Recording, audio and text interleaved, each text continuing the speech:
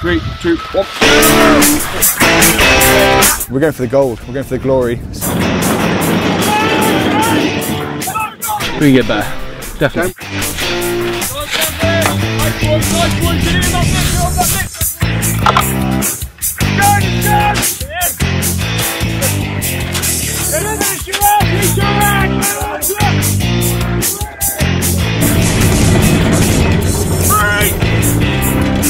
All hate getting up, but we get up, we get here, get it all done for our 9am, get to uni, we'll sit down, and have breakfast together and all just really good bonding for the team.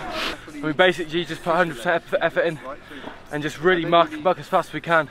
And we, the lads are doing really well, having a really consistent, getting up every morning.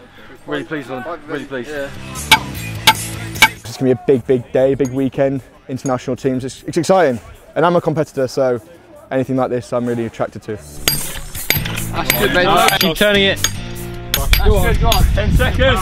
Right, so the objective here is to sink an entire steel as quickly as possible, starting with this one to make the entry hole and then progress to a larger steel and then the larger steel.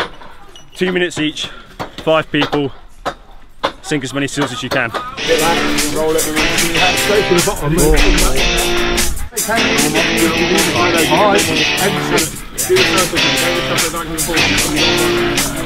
Just trying something completely new, something that you wouldn't really be able to do anywhere else. I think it's just an amazing opportunity.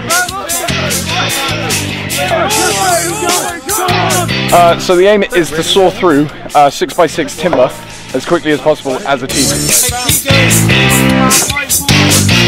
Halfway through, halfway through! Actually quite physical. It's old school mining techniques. Um, sometimes I look at myself and I think there are machines that do this much more efficiently than me. But it's very physical, but it's really fun. Definitely the teamwork and the team aspect. You can see everyone out here today really working hard and it's, it's the hard work as a team working towards a goal that really pulls people in.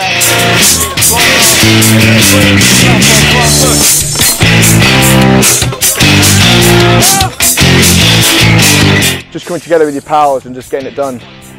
You know, it just brings out, feels good. Feels good.